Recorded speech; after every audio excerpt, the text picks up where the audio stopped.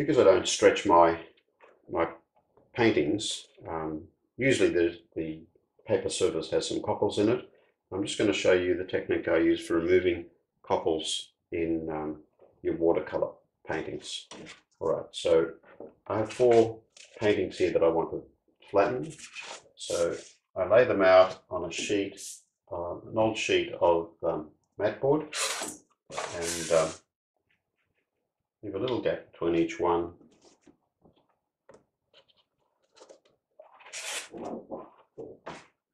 Like that. Now, once the sheets are laid down, get a spray bottle and I give the back of the paper, and this is very important, you don't want to get the front of the paper wet at all or you'll ruin your lovely watercolour paintings. At the back, I give it a good soaking. I'm going to run my hand over it like this, just to make sure that it's evenly wet.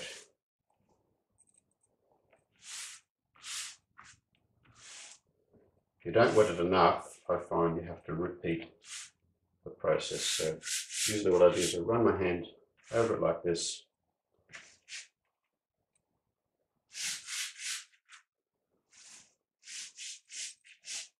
If there's any dry, dry spots, I'll come back and give it another spray. Back in this case, There we go. Just run my hand over that.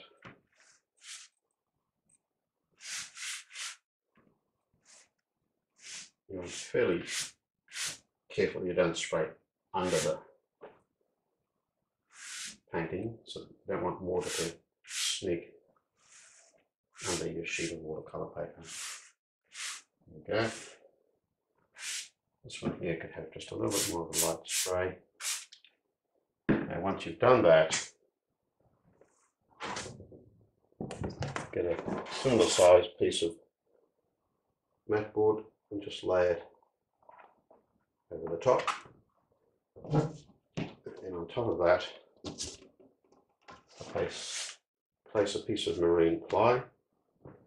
And then I have these very big clamps yeah, they're, they're quite cheap to buy from the hardware store. And I use them to clamp all around these boards. Like that.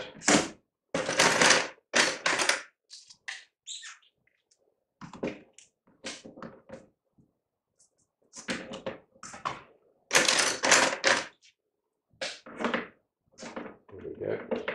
And then sometimes what I place in the middle here is um, a collection of very heavy books.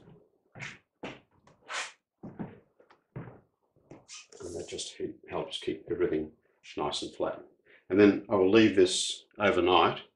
And then uh, when I take the um, clamps off, the painting should be dead flat. But we'll have a look at that once they're dry.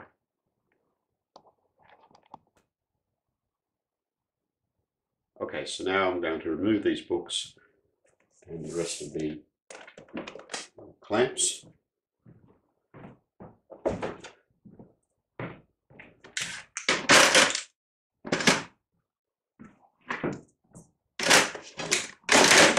And we'll see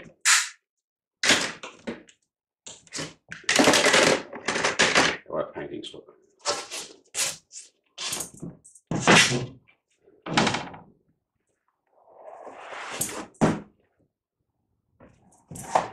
There we are. All nice and flat.